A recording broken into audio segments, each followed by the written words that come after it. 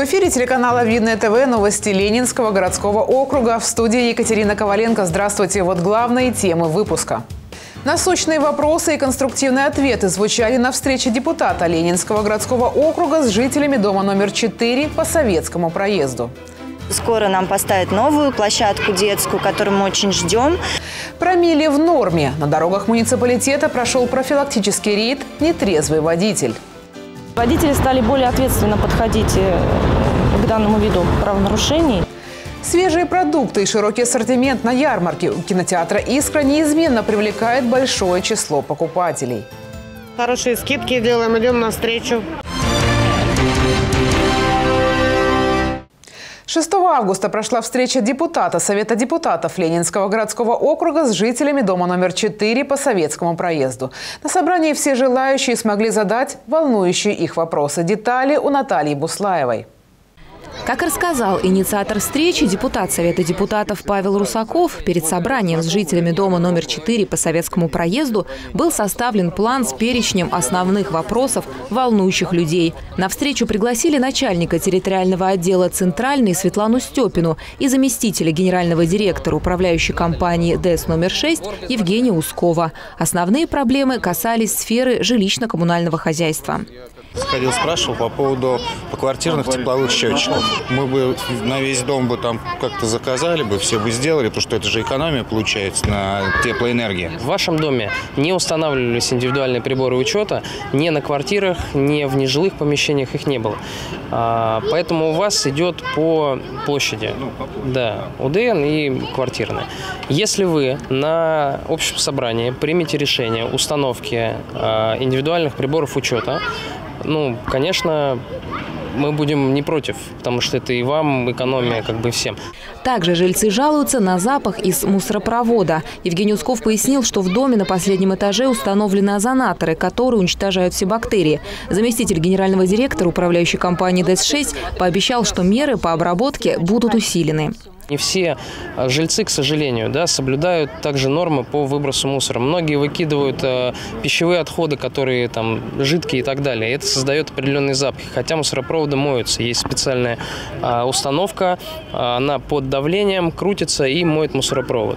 Еще одна проблема с напором холодной воды на верхних этажах. Представители управляющей компании приняли заявки, которые будут рассмотрены в ближайшее время. Помимо этого вопроса жительницу 17 этажа Диану Имаеву волнует вопрос безопасности в подъезде. У меня последний этаж и постоянно гости, ненужные гости. Это меня вынудило поставить видеонаблюдение даже в какой-то момент которая мне уже несколько раз меня выручала, потому что реально то, э, какой-то вот, ну, наркоман по виду ломится в дверь в 5 утра. Представляете себе, ручку дергает. Скоро во дворе дома будет строительство новой двухуровневой детской площадки. В игровом комплексе сделают прорезиненное покрытие, огород для малышей, зону для подростков. Проект разрабатывался совместно с жителями. Скоро нам поставят новую площадку детскую, которую мы очень ждем, потому что, как видите, дети гуляют вот на этом строительном песке. Это очень некомфортно и родителям, и детям, поэтому очень ждем, что по инициативному бюджетированию нам скоро построят суперскую новую площадку. Также жители предложили организовать пространство для хранения велосипедов и поставить лавочки у подъездов. Я не увидел никаких сложностей, не, не увидел никакого, скажем так, отсутствия взаимопонимания между представителями управляющей компании и жителями. То есть все находятся в состоянии рапортного диалога, то есть, ну, как бы никто ни на кого никакой агрессии, никакой критики не обоснованной нет. Поэтому я считаю, что встреча прошла великолепно и дай бог такие встречи почаще и со всеми проводить. Наталья Буслаева, Сергей Ларин, Елена Кошлева, Видное ТВ.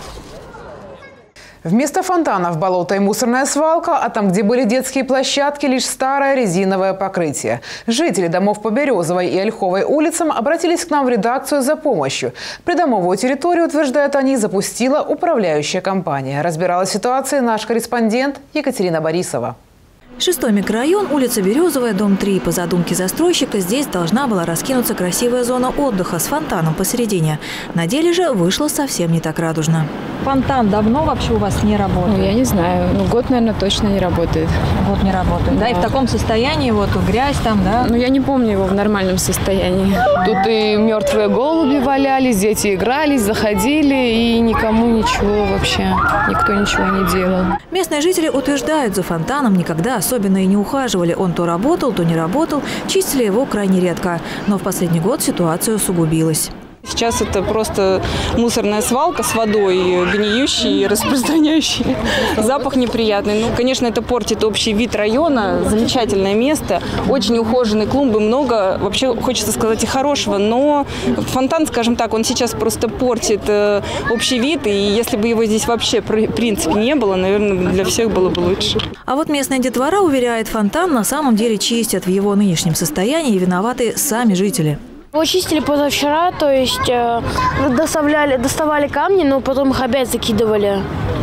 То есть, ну, их доставали, э, это рабочие, ну, которые ухаживают за фонтанами, они доставали, ложили все сюда, то есть камни в эти. э, И потом оттуда доставали пацаны, э, мальчики, и кидали, то есть кидались камнями. Похожая проблема и с фонтаном у девятой школы. Только здесь и воды тоже давно нет, как и детских площадок. Как бы клумба, которая после дождя превращается в болото, и дети в нее лазят, и там просто тоже ничего не убрано. И кому обращаться, пока тоже непонятно, кто за это отвечает. Жители винят в происходящем местную управляющую компанию, которая запустила территорию. Компания называется Lean Invest. Уже который год вот происходит непонятно что с детскими площадками. Тут тоже раньше стояли все в детских площадках, но была уже просто разруха. Наверное, их несли в целях того, что дети могли убиваться. Про фонтаны это вообще отдельная история. То есть здесь грязь, здесь дети купаются в грязи, валяются. То есть, ну, уже как бы даже... Мы уже не рассчитываем, что что-то будет. Но надеемся, что что-то изменится. Потеряв всякую надежду на диалог с управляющей компанией, местные жители начали писать жалобы на добродел. И очень надеются, что в их уютном микрорайоне совсем скоро дети снова смогут гулять безопасно.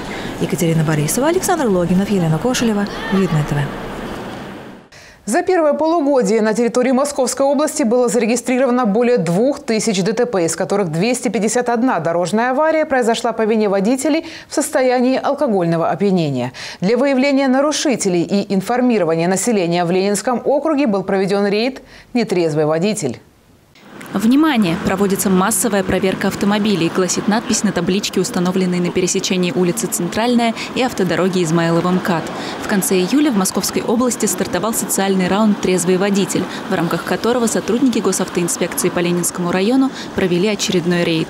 Экипажи ДПС останавливали автомобили и в первую очередь по внешним признакам оценивали состояние водителей, проверяли документы и давали листовку с призывом не садиться в машину в состоянии опьянения. У проводится мероприятие «Нетрезвый водитель». Познакомьтесь, пожалуйста.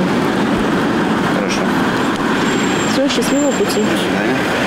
Рейд «Нетрезвый водитель» проходил в течение двух часов. За это время сотрудниками ОГИБДД было проверено 85 водителей. Нарушений выявлено не было. В счет проводимых э, оперативно-профилактических мероприятий нетрезвых, нетрезвый водитель, слава богу, выявлено не было за последнее время.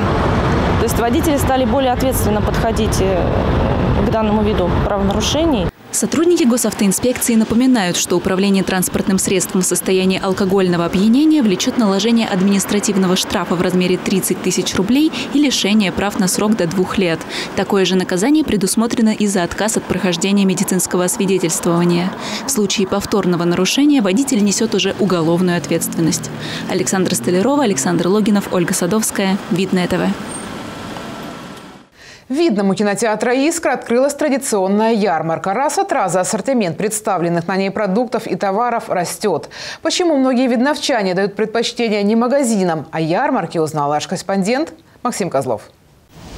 Каждые выходные открывается более 60 ярмарок по всему Подмосковью, но в видном ситуация иная. Здесь торговые ряды у кинотеатра «Искра» стоят и в будни. Несмотря на то, что большинство местных жителей на работе, и в середине дня здесь довольно людно. Традиция устраивать ярмарки на центральных улицах существует во многих городах. Недаром видновчане предпочитают делать покупки именно здесь. Рецепт популярности прост. Свежие продукты, качественные товары и низкие цены.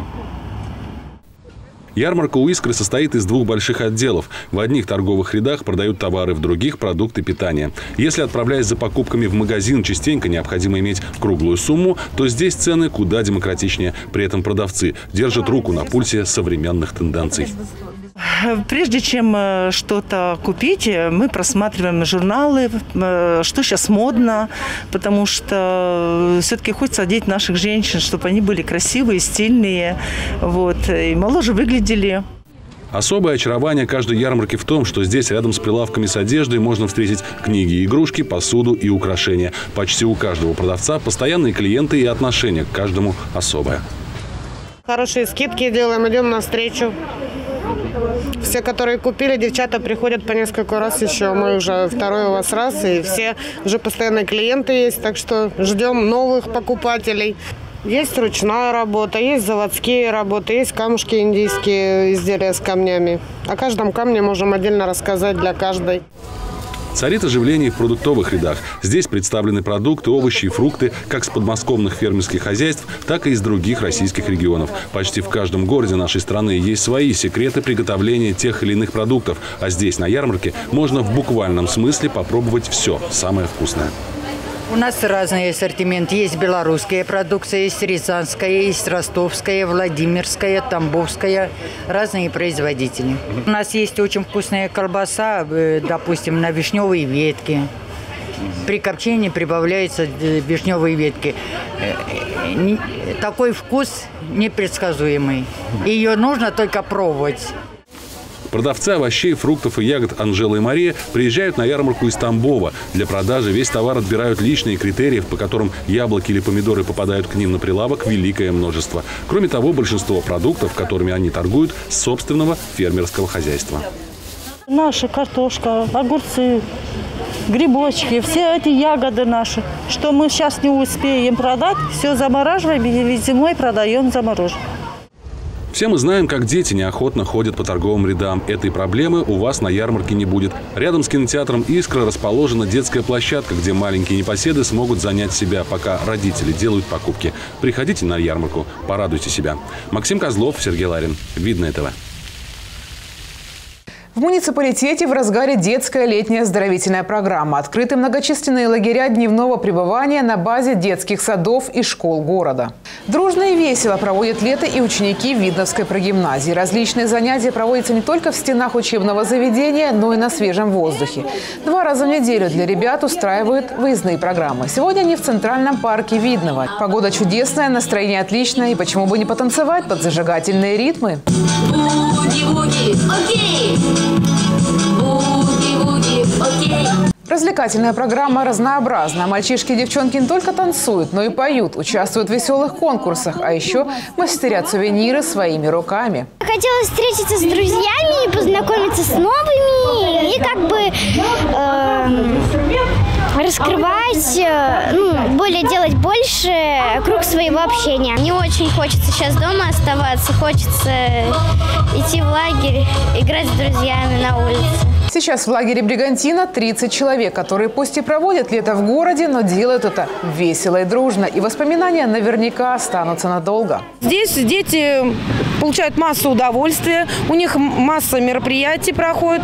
Э, в четверг э, еще познавательная э, игра проводится для них. Так дети довольны, никто не жалуется. Рады приходить в наш лагерь. Все с удовольствием ходят. Ждут в Центральном парке Видного не только детей из лагеря, но и всех желающих. Дважды в неделю, по вторникам и четвергам, сотрудники районного центра культуры и досуга устраивают здесь мастер-классы. Мы проводим мастер-классы по вокалу, мастер-классы, э, у нас такая зажигательная зарядка, уже детям нужны э, силы, чтобы все это делать. И у нас Насима и Наталья проводят мастер-классы по оригами, и также у нас проводятся мастер-классы по ИЗО. И это все новости на сегодня. С вами была Екатерина Коваленко. До новых встреч!